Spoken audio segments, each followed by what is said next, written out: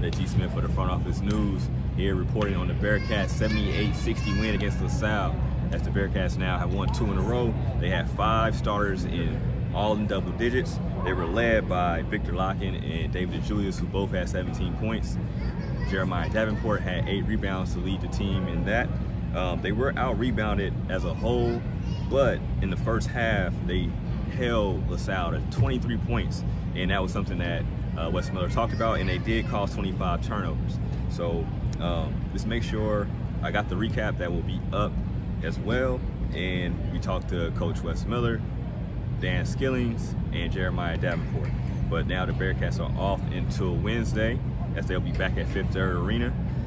Um, but just make sure you guys hit up the front office news as we'll have recap. Um, we also have the recap for the, the keg nails that the Bearcats did not bring home, but now the Bearcats are eight and four, and they have a they'll have a day off, and then we'll have the videos up on the site. So make sure you guys check it out. I'm JT Smith, and I'm signing out.